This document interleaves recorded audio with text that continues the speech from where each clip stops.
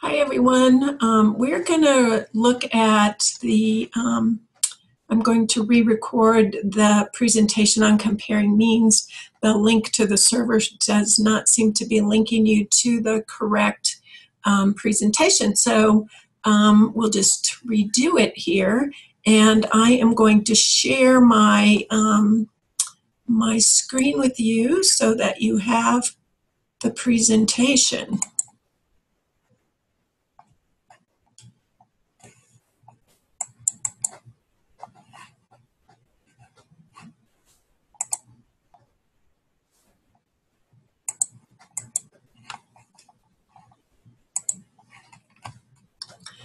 So um, when we're talking about comparing means, it's important for us to remember that comparing means is really based on the relationship between two samples.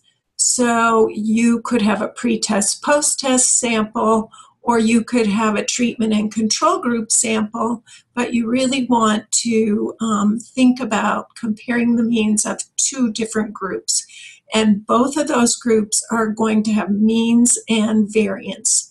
And the effect size is the difference between the group means or the degree of separation between the groups.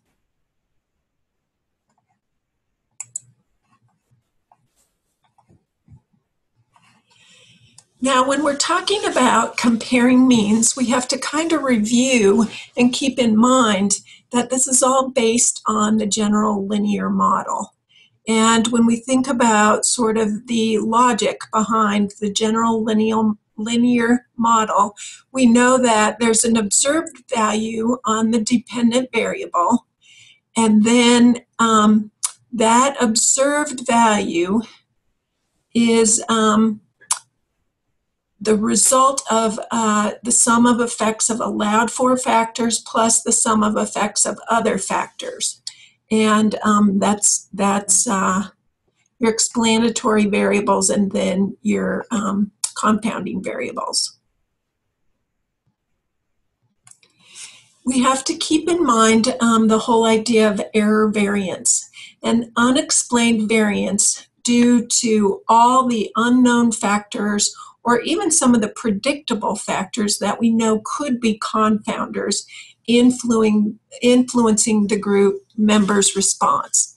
Um, and then the error is all sources of variability not explained by the independent variable.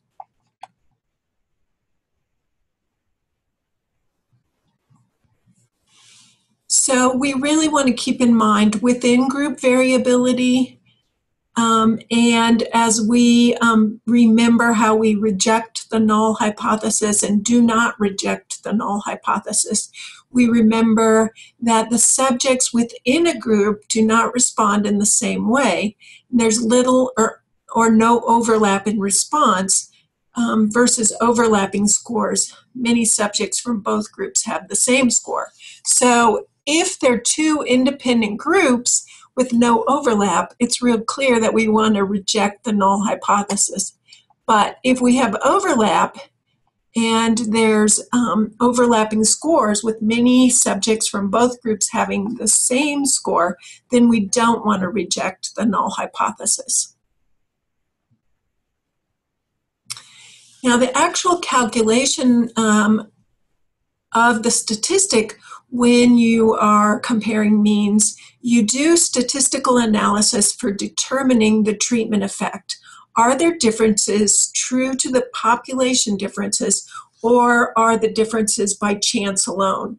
And the significance of the differences between group means is derived by the ratio of differences between group means over the variability within the group.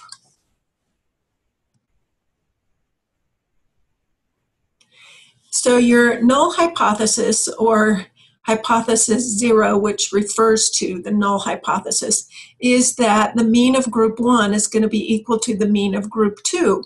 And that if we were talking about a pretest post-test design and the pretest was equal to the post-test, that would mean that our null hypothesis um, was accepted, that our treatment didn't make any difference.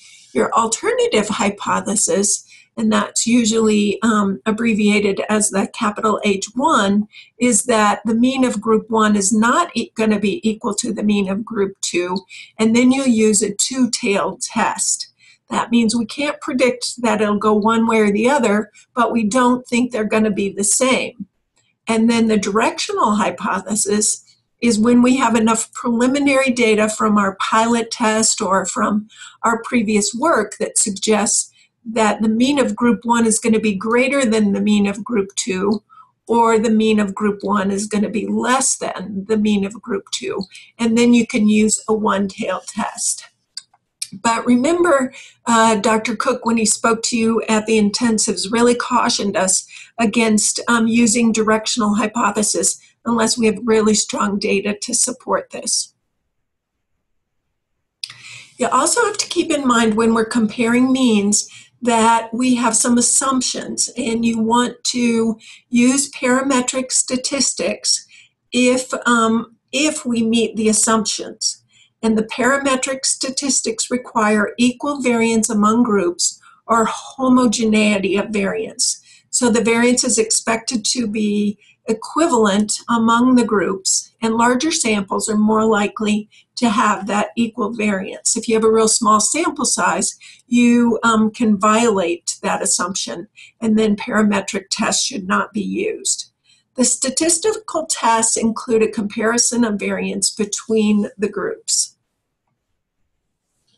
So, when we talk about um, comparing means, a few tests that we might use are listed for you in the bubbles here. The independent t-test, paired t-test, and ANOVA are three common ones that are used. In selecting the appropriate statistic, um, or the statistical analysis approach for comparing means um, in two or more groups will be covered now. So let's talk first about independent t-tests. Independent or unpaired t-test are used to compare means of two independent samples. So if we want to look at the difference between a treatment and a control group, and let's say um, we're going to give Tylenol and ibuprofen to a child with a fever. And after we administer Tylenol and ibuprofen uh, to two separate groups, of um, children with fever, we can then see how those two groups respond and see if they seem to respond better to Tylenol or better to ibuprofen. That would um, be an appropriate study for the independent or unpaired t test to compare the means of those two groups. Two independent groups are compared. Um, they may be randomized, they can be a convenience sample, they're intact groups, and there's no repeated measures. And once again, there's the statistic for you. I don't personally think it's worth memorizing any of these because you're going to use your statistical software packages to calculate them for you. I don't know anybody who does it by hand anymore. But conceptually, remember that the t test is equal to this um, ratio of the effect size, the difference between the means, um, over the standard error of the difference between the means. So um, first you need the pooled variance estimate. When the assumption of equality of variance is not met, we use, we use a pooled variance estimate. And it's an estimate of the population variance. And um, you can see again the formula for you there um, with the degrees of freedom being n minus 2 for the combined sample size. Um, once again, let's just talk about the one versus two-tailed test. Now, we've already said, unless you have preliminary work that strongly supports um, that you have enough data to um, to predict that the um, hypothesis is going to go in one direction versus another, you're going to use the two tailed test. But if you have a lot of data and you're really certain from your previous work that you can predict the direction, then you can use the one-tailed test. The t statistic for unequal variance. Um, the validity of unpaired t-test is not compromised by unequal variance unless there are unequal sample sizes. So if the test for equality of variance shows significant differences, the t ratio must be adjusted.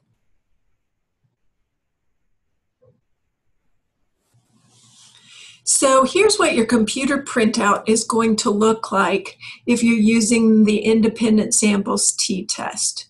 And you can see that circled in red there for you is um, the two-tailed test. We didn't have enough data here to suggest that we um, could have a directional hypothesis. So our um, alternative hypothesis for this particular uh, um, test is going to be that the means of the two groups are not equal. So your Levene's test um, compares the variance of the two groups. And um, you can see that as number one.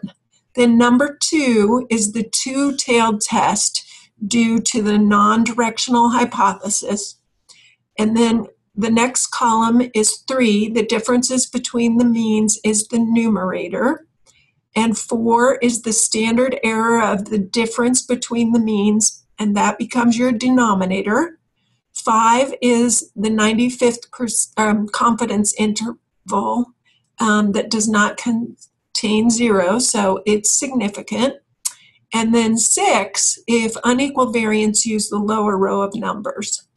Um, and so for this particular um, printout, our significance is uh, 0.024, which means um, a significant difference between the two groups.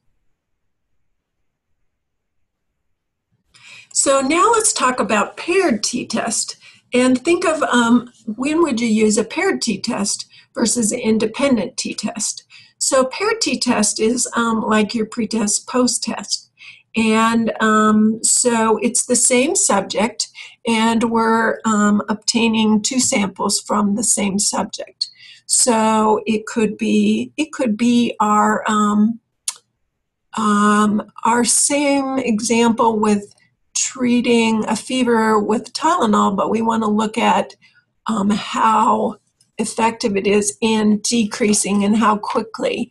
Um, so we would do um, temperature before we gave the Tylenol and after we gave the Tylenol, and there would be a pre and post test measure on each and every child. So the repeated measure or the match design um, will improve the degree of control over the extraneous variables because we can't say it's um, the child's uh, clothing or the child's um, how they're um, hydrated or something like that that may be the difference in these two groups. It's really um, measuring the same thing in the same child.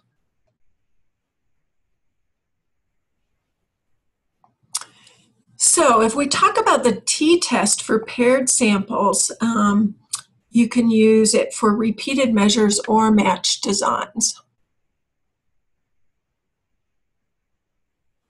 And the Data are paired or correlated, um, so you use the paired t-test. Analyzes the difference in scores within each pair, and the subjects are compared with themselves or a match, and it reduces error variance because extraneous factors are equal. Um, and here again would be um, the mean of differences of the scores um, over the standard error of the differences in scores. And there again is your t-test um, statistic for the paired data. Your paired data t-test um, uh, printout looks something like this. And you can see um, pre-cheese and post-cheese. And, um, and you can uh, see that they did a two-tailed um, paired sample t-test here. only um, used to compare two means.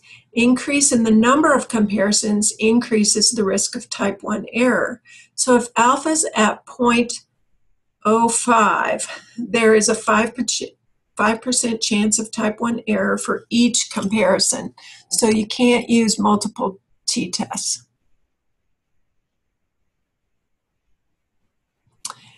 So if we have multiple comparisons to make, we want to use ANOVA. And um, so if we accept the null hypothesis, um, it means all the means are the same. And we really, um, ANOVA stands for analysis of variance. So let's just talk a little bit more about this. So if you have a multi-level design or you have a multifactorial design or you have three or more groups or conditions, you want to consider analysis of variance.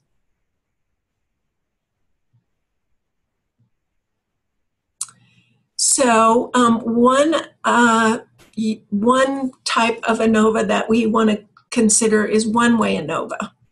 And that looks at the total variability in each score and it helps you look at the between treatment variance in each cell and the within treatment variance or the error term. So analysis of variance for an independent sample um, really looks at a single factor experiment with three or more independent groups um, being compared. So there's only one independent variable, but you have three groups. So you're saying the mean of group one is equal to the mean of group two is equal to the mean of group three, and that is your null hypothesis.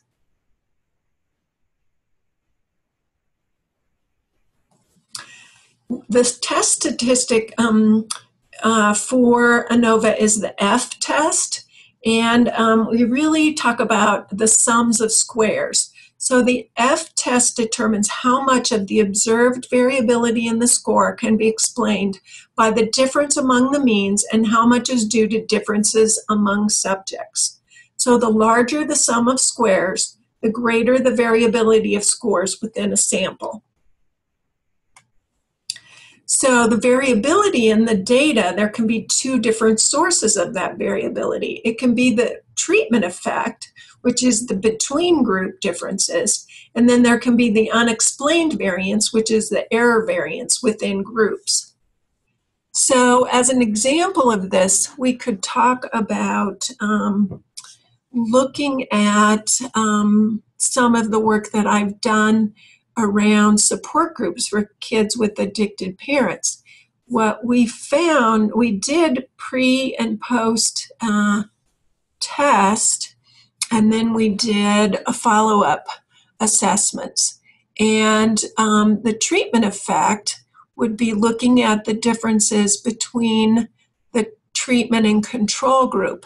But the unexplained variance could be the age of the child, um, and it could be the gender of the child. All of those sorts of things might be the, the um, unexplained variance. So here is a printout from a, a test of between subject effects. So the dependent uh, variable on this particular study was the duration of breastfeeding in weeks. And um, you can see that we had the um, the uh, sum of squares listed for you there in the second column the errors listed and the total is listed. And then we have your F statistic, um, and you can see that it was um, significant at the 0.000 level.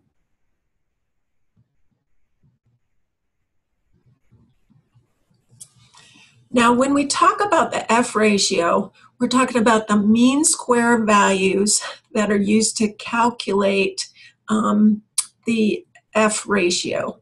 And again, you can see there are the um, the formulas there for you, but really you're probably going to just rely on SPSS to calculate them for you. And it after you get those um, scores, you compare them to critical values. And they're actually in the appendix in your textbook. But again, your printout is going to make all your, your SPSS printout is going to make all of that um, information available to you um, in one place. So, a significant F ratio indicates a significant difference between at least two of the means. And then you have to do follow up with multiple comparison tests to know the direction of those differences and um, what those differences are between the different groups.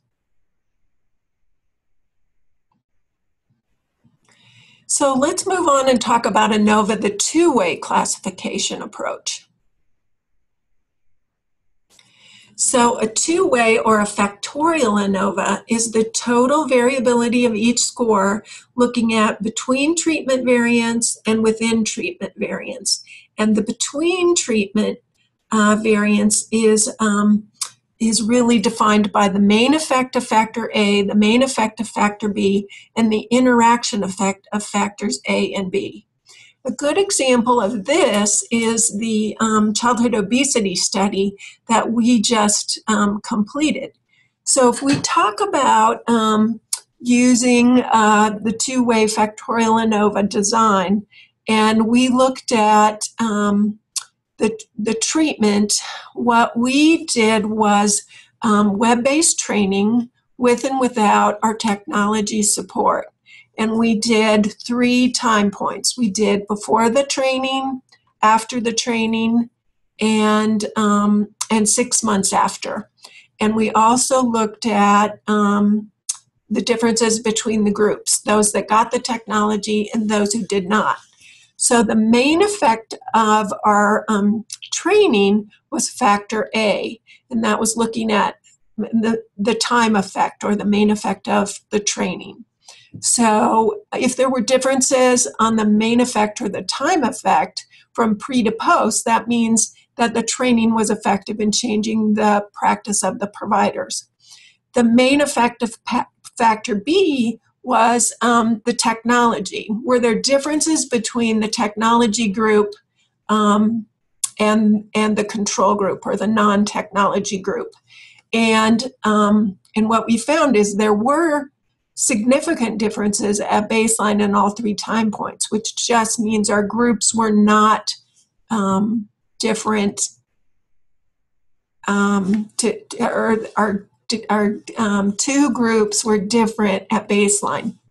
The interaction effect helps you look at whether or not there was an interaction between the pre-test and the post-test um, or the time effect, the training, and whether or not the technology um, made any difference. And so, if you have an interaction effect, then you have to look at um, which direction that was in. And what we found in our results is that everybody got better. The main effect, the time effect, the training improved everybody's practice. But in many of the variables, there also was an interaction effect where those that got the technology got significantly better than those who um, just received the training.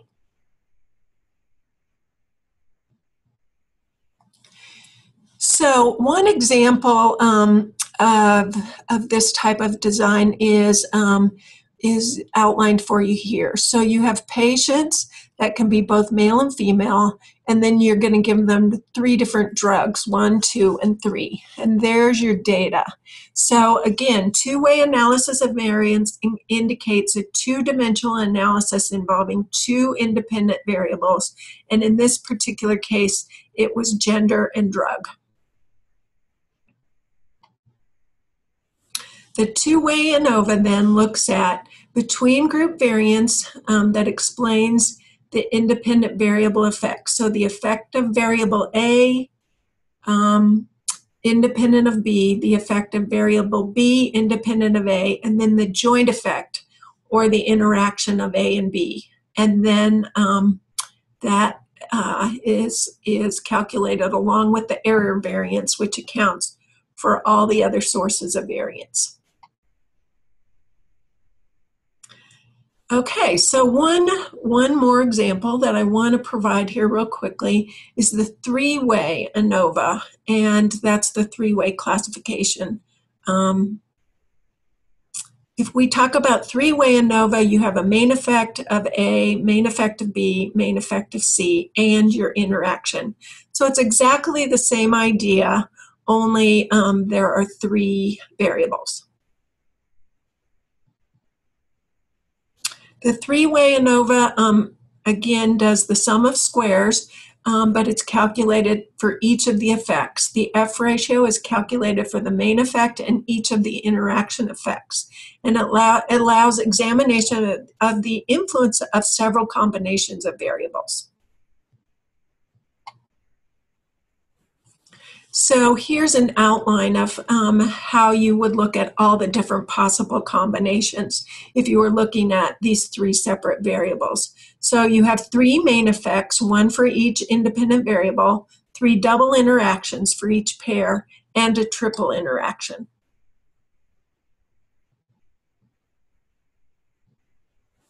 So here's an example of um, a three-way ANOVA with um, this is satisfaction with pay. And they looked at age, gender, rank, and then they looked at age and gender, rank and gender, rank and age, and then they looked at all things combined. And you can see for age by itself, it was not significant. For gender by itself, it was. For rank, it was. For gender by age, it was. Rank by gender, it was. Rank and age, it was. And rank by gender and age, it was not.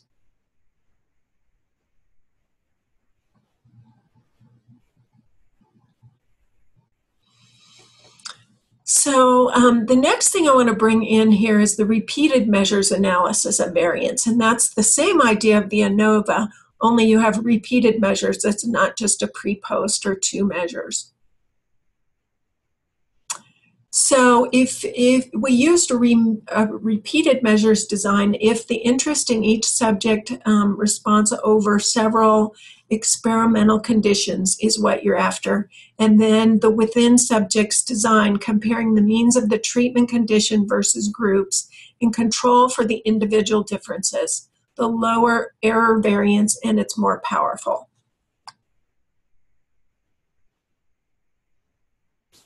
So here's an example of a single factor repeated um, measures design. All treatments are administered to all subjects and then you follow it over time. And you can see um, how they they um, plotted the the response to these subjects here.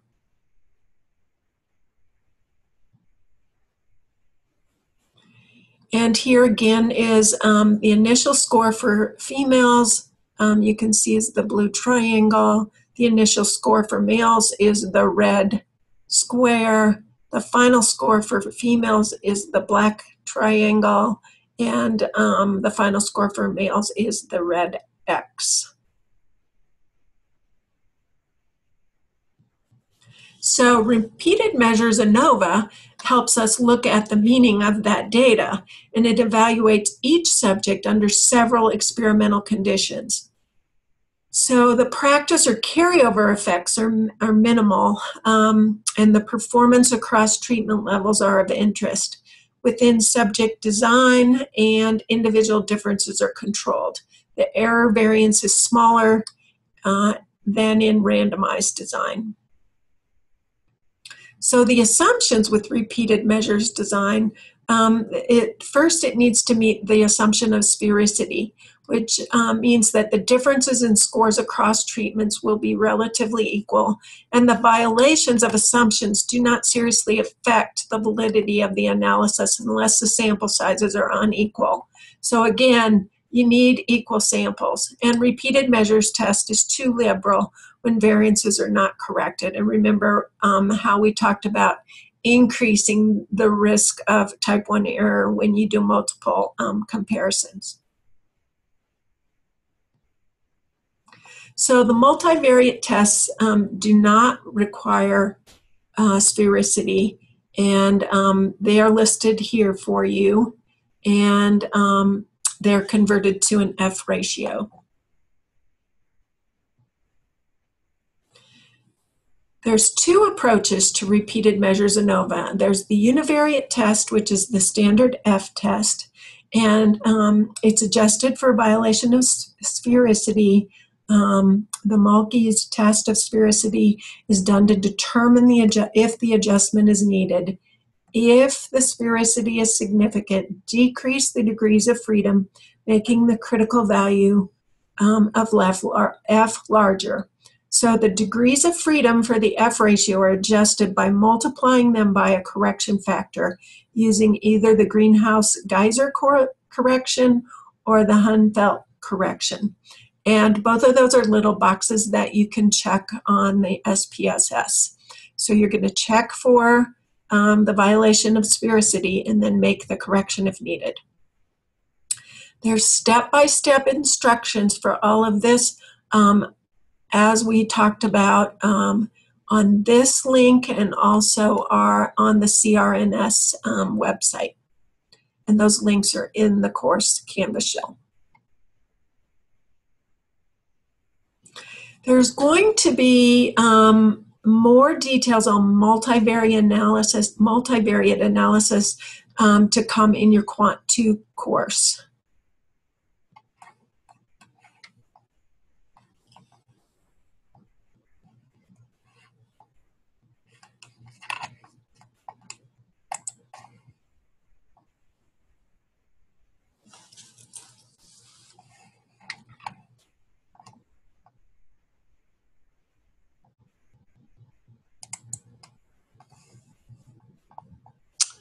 So um, that is the um, lecture on the comparing means.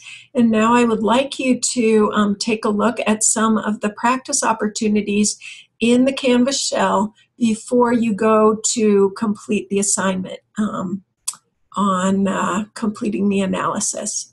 And I look forward to talking with you um, during our Zoom conferences.